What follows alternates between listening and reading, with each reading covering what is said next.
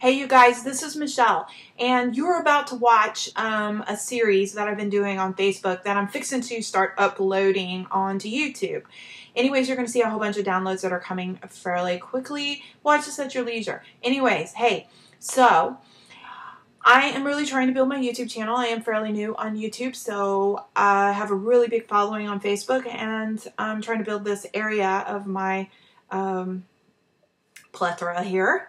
Anyway, so if you're not a subscriber, please subscribe and really help me build my YouTube following. I really appreciate it. Anyway, here we go, you guys. You ready?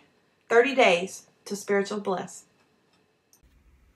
Hey, you guys. So I decided that I'm going to start a 30 days to spiritual bliss.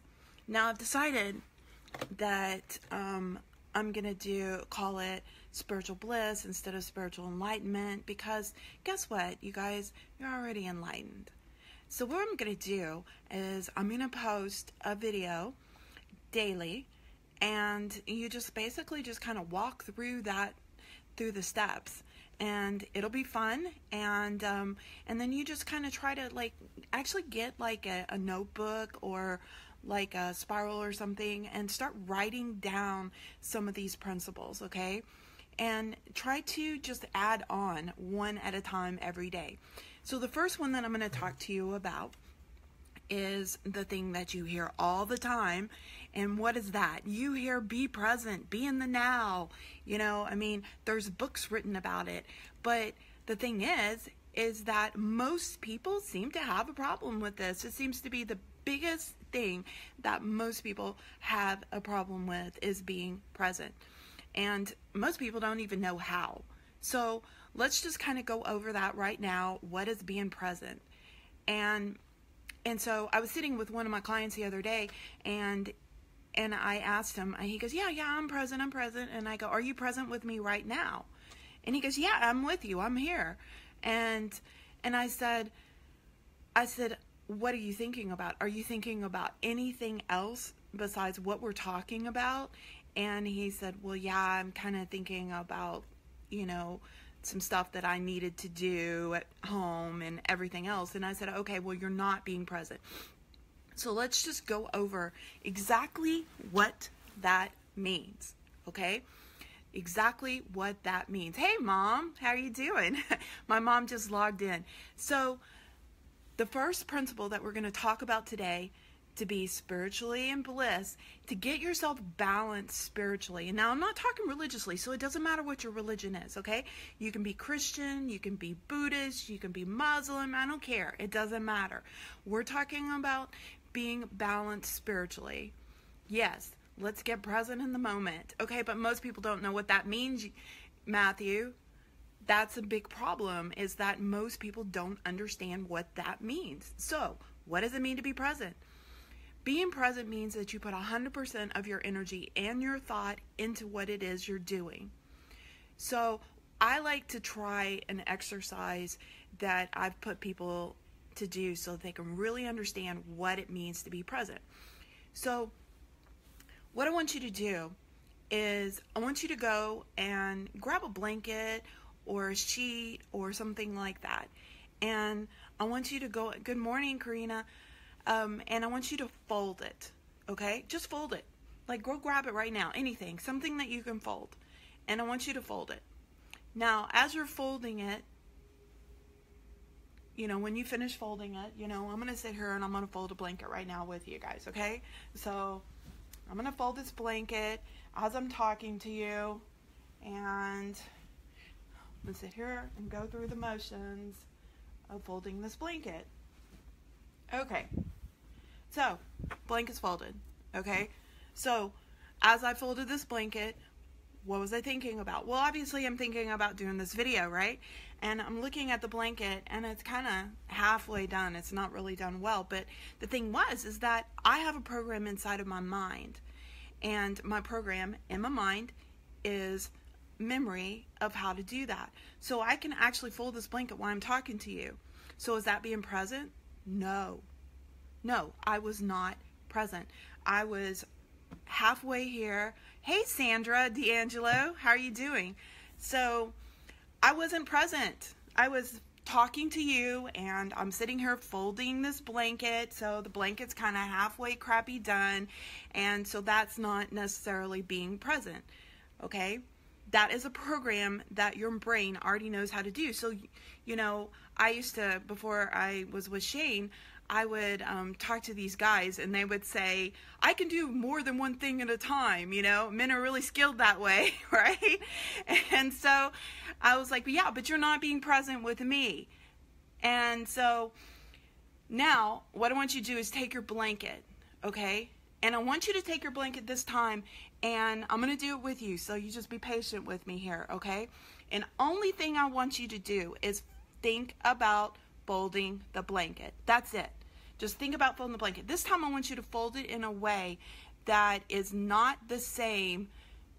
Um, most miss the importance of practicing presence. Oh, yeah, absolutely, Sandra. Okay, so I'm trying to show you guys how to do this. So take the blanket this time and fold it differently than you normally do. So do it outside of a, your program. Like, so I'm going to take my blanket and I'm going to fold it completely different. So hold off because I'm going to be present folding my blanket.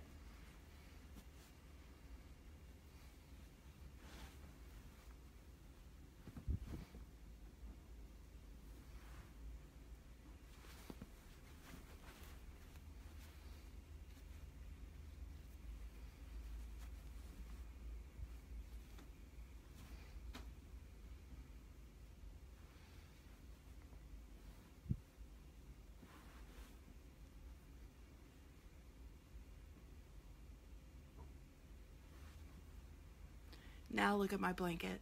Look at how perfect it is. Okay, so what did I do here? Well, first off, I didn't even talk to you. I was so focused on folding the blanket that nothing else was in my mind. The blanket was folded absolutely perfect, and all of my thoughts and all of my energy was folding the blanket. Okay? So, that's hey Joe, haven't seen you in so long. Miss you guys. Um Yes, exactly, Sandra. Exactly. That is absolutely right. And the thing is is that but Sandra, the thing is you and I know this, but most people that I encounter do not know how to be present. They say that their mind is just going eh, constantly all the time, and they don't, they can't seem to calm themselves down. They're experiencing this like anxiety, and and they don't know how to get outside of that. So, you want to cure your anxiety, become present. Okay, and that means that you focus 100% on that. I'm gonna give you another exercise go and get an apple, get an orange. Okay? And these exercises are crucial to teaching you how to be present. And this is a really important thing spiritually because if you don't, if you can't be present while you're meditating, if you can't be present when you're um, doing some kind of spiritual practice, whatever that may be, let's say that you're um, you're Muslim. So I have a client that is Muslim, and I asked her to show me exactly how she she prays, and and so what she did was she she told me that she puts an intent, a thought, and what it is she's going to pray about. And um, and then she goes through this exercise where she kind of goes down on the floor and then back up and then down on the floor again and then she goes back to the intent and you really have to um, you really have to like really be present to do this because it's kind of hard you know? And and i was actually really quite impressed with it because i thought you know this is a great thing that a lot of people could do and do it for a different reason because you have to focus on a not falling being balanced you know it's kind of a, a combination between being present, meditation, exercise, yoga, you know, it's kind of all those things. So, you know, there's a lot of different things that you can do um, to practice being present so you can train your brain to be able to concentrate on one thing and you'll find that it relieves your anxiety so much. So let's talk about the other exercise that you can do. Getting an apple, getting an orange. Okay? So go and get yourself um, a knife and like a peeler, like something that you would, you know, those little peelers that you kind of do, like you peel um, a potato or something. And I want you to take the apple and I want you to peel the apple with the peeler, okay? And I want you to just focus on creating some kind of design with it. Like, really get creative and just take the peeler and just peel the apple very slowly, very intently, put in all your energy, and the only thing you're thinking about is peeling the apple. Now, once you're done, I want you to set that apple aside completely out of eyesight, and I want you to go grab a knife and grab an orange and immediately shift your focus just like that. And I want you to take that knife and start peeling the orange.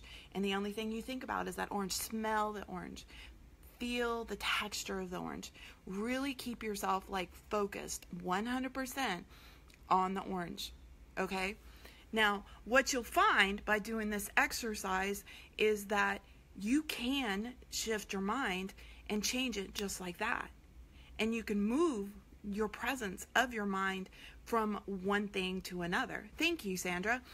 And a lot of people say that they can't, they don't have any focus.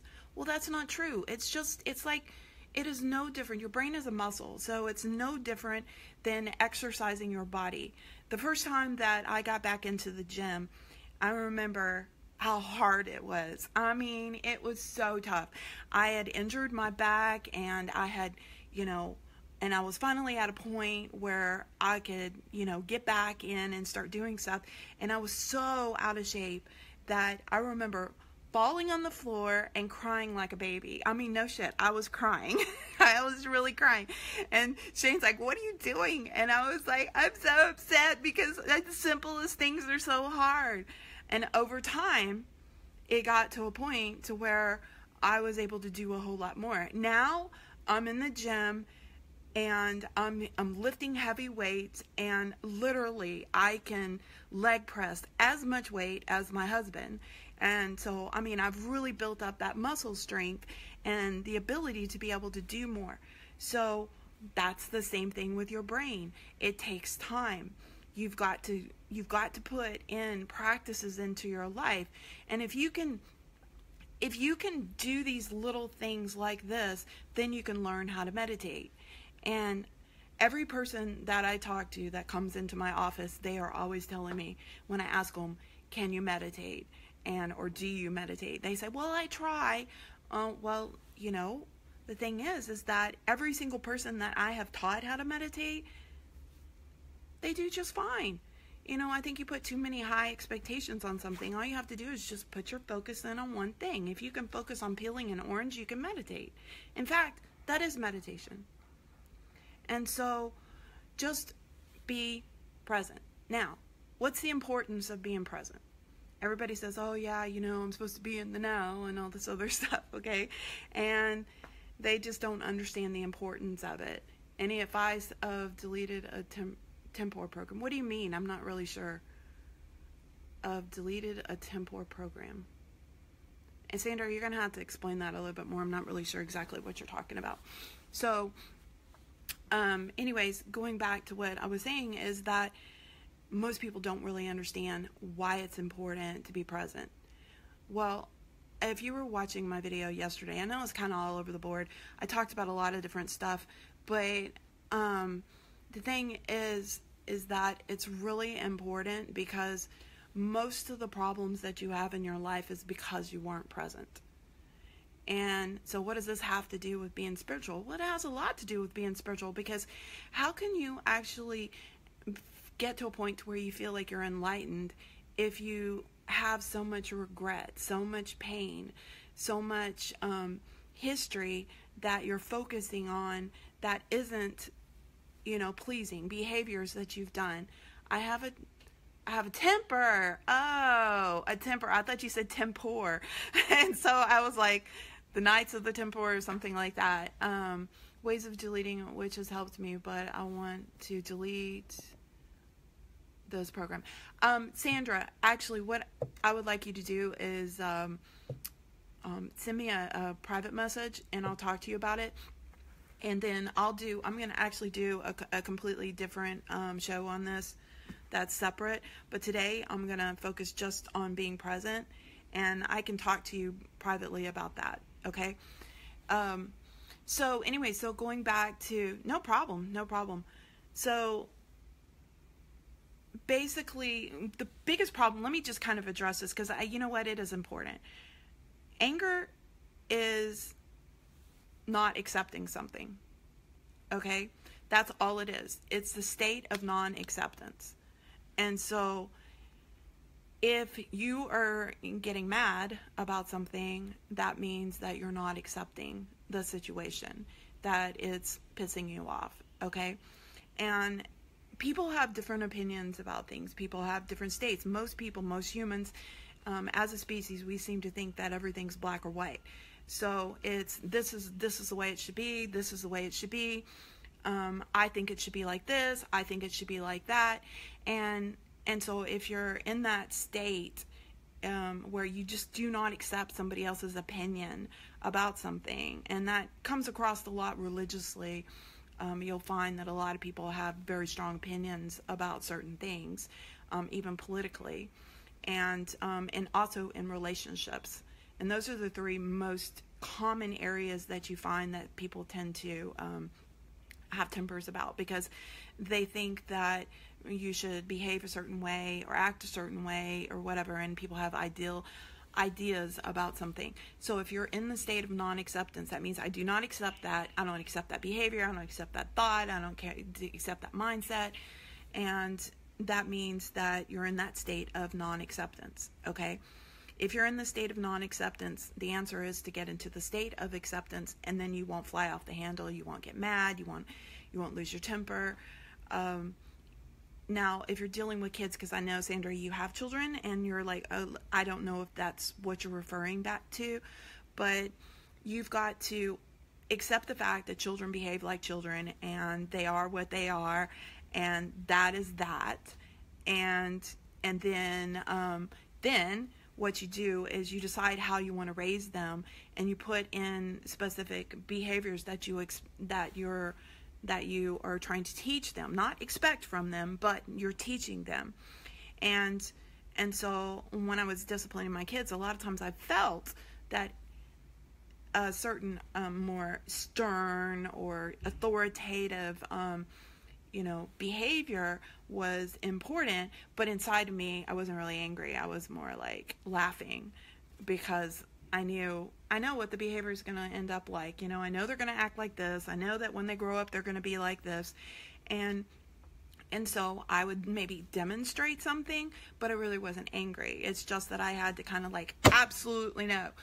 And I accepted the fact that they were acting like children. I accepted that they were going to screw up. I accepted they were going to, you know, do all these things. So anger didn't come into the into the place but sometimes i had to demonstrate certain things. And, and in situations you do sometimes have to demonstrate um, something to get a point across with some people because you know their their brain gets locked into something and it starts going ah and you have to kind of like do some shock to get them outside of it. So hopefully that helps. Um, so let's go back to being present. Um, why is it so important spiritually? Well it's important spiritually to be present um, this is so helpful. It does come out mostly in my child. Yes, I know, I know, I know. hey, I raised two of them. I have one that's 28 and one that's 25, so I know exactly what you're talking about. And um, my daughter, who's 28, she's absolutely amazing. I don't know if you saw her on that interview that I did with Jeff, and um, she is she's actually just amazing amazing amazing woman but she was challenging you know as a child i mean she was seriously challenging yeah she is great and um, but there was a there was a lot of times where I was giggling so hard inside, but I had to like keep up a stern and you know like I had to put up that wall like you will not cross it and I told her I was like look, Amanda, here's the deal. I am older, wiser, smarter. I have more patience, and I can do this all day long. You will wear out faster than I will. And um, and basically that's what happened. I just stuck to my guns and said, "Nope, go back to your room." She come run back out, and I'm like, "Nope, go back to your room." And I just kept on doing it and doing it and doing it until she learned. And and there was and i would just sit there and laugh about it because i would be like okay i wonder how long she's going to take this time and uh, yeah. Yeah so you know, sometimes those really really smart kids will challenge you. And so you can't you can't diminish their um, their self-esteem. You just got to teach them because their brain is kind of all over the place. So anyways um, back to being present. Boy i'm shifting all over the place today. Back to being present. Why is it important spiritually it's important spiritually because if you're not sitting right here in this moment, this very second, you're sitting on regret, you're sitting on pain, you're sitting in the past.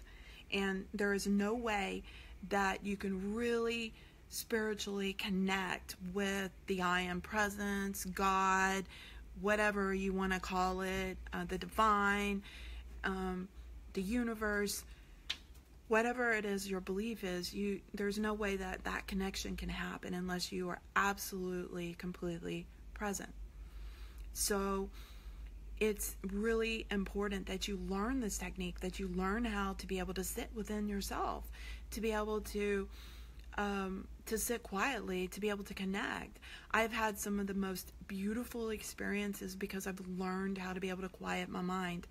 And and also too here's the thing if you're sitting there reading a book to your child, so Sandra, for example, um, you have a small child and you're reading a book to your child, if you are thinking about something else, you're not really experiencing the bliss and the joy that that child's experiencing because you're thinking about, God, I gotta, I gotta get up early, I gotta go to work. Ah, geez, I'm gonna go through the motions real quick, read the story, and get them to bed.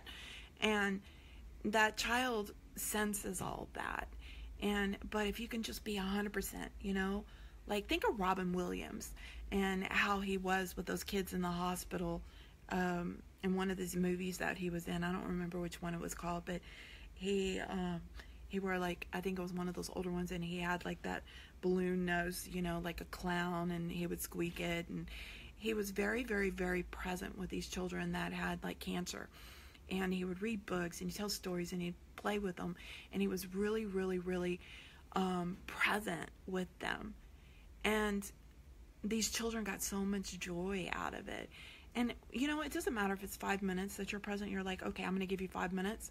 Um, or if it's, you know, an hour, whatever it is that you dict- dictate, give 100% of your energy, and then you have no regrets.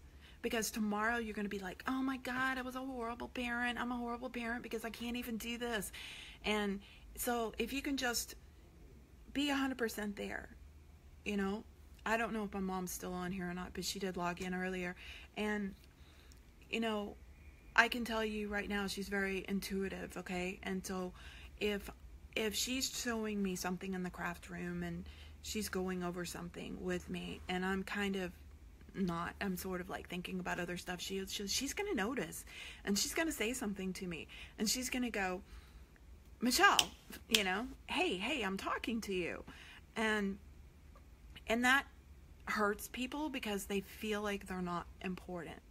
So, what is our goal here? Our goal as a spiritual being is to become enlightened, and enlightened means to be love. That's it. That's it. Just be love. That's it. Nothing else, just be love. That's all enlightenment is, is to be love. Not to love not to act loving, but to be love. So, what's the difference? What's the difference? Okay?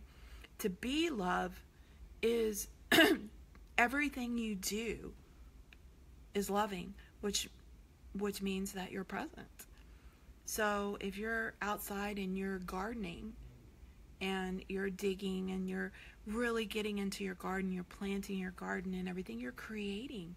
And love is creation.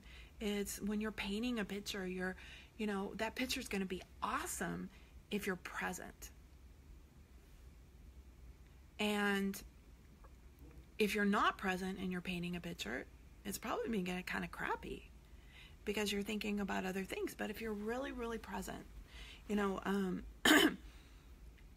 there's um, an old movie that I'm not sure exactly when it was produced, but I think it was like in the 80s or the 90s. It was called The Karate Kid. And the very first Karate Kid, um, he wanted to learn karate. So the old man says, All right, get out there and start painting the fence. And he's like, What? I came here to learn karate. And he's like, He goes, You know, and he did this, you know, swash up, swash down, swash. And he wanted him to get that structure up, you know, really strong, like get it straight and then go down. And, you know, and he said to kick your wrist like this, right? And then go back up and then go back down. And he was very instructional about how it was done. So the boy had to had to literally paint the whole fence in this very specific structure. Then uh, wax on, wax off. That's right. Yeah, and and um, there was like, and he taught him all these other things. He was having him wax things. He was having him paint things. He was having him, you know, do all these different things, and and everything had to be in a specific way, right? At the very end, he said, "When are you going to teach me karate?" And he goes, "You already learned it." And he goes, What are you talking about? And he says, Okay, do wax on, wax off. Wax on, wax off. And that was one technique. And he was able to completely focus and learn something and be really good at it. When you are painting a picture, if you are painting and you're 100% focused about every little detail, you become an excellent artist. The difference between a really good artist and a, and a crappy artist is somebody who's present. So the difference between um, a person that is a good parent and a person that is, and I hate saying bad parent, but you know, a parent that's not present is a person that is whether or not they're present. And if you are there for your child, your child's going to remember that. They're going to come back when they're 20 years old, 30 years old, and they're going to say, I remember when you did this. And they're going to have good memories and it's gonna and it's gonna latch onto their life and it's gonna create a wonderful human being and so that's why it's so important. And it's important in relationships husband wife boyfriend friends because it it hurts the other person when they feel like that other things are much more important. So what it all boils down to is being present is love. It's about expressing love which which what you're saying is is this moment right now this person right now this action right now is the most important thing to me and nothing else matters. And then and and you know it's more important that you spend a short period of time that's 100% present with somebody than it is for you to spend a long period of time and not be present. It's it's about value. So, hopefully, that helps you guys with the whole being present thing. And um, tomorrow, I'm going to start doing 30 days, okay? So, tomorrow, I'll talk about something completely different, but it's going to be principles, spiritual principles to a spiritual bliss. And um, because, like I said, I'm not using the word enlightenment because enlightenment is really just love, okay? And so, what we want to do is we want to realize is that we're completely capable. You just take these practices and you do it, and you, every single person has the ability to love. So, every single person has the ability to be enlightened. And you're already there. All you have to do is just be love. That's it. Thank you so much, you guys. Thank you, Sandra. I appreciate it. And y'all have an awesome day. Be love don't be a candle, because guess what? Candles can be blown out. Be the light. Just be love. Okay? Just be love and be present. Be present. Everything you're doing, even if it's work, just be present. Okay? Y'all have an awesome day. Bye.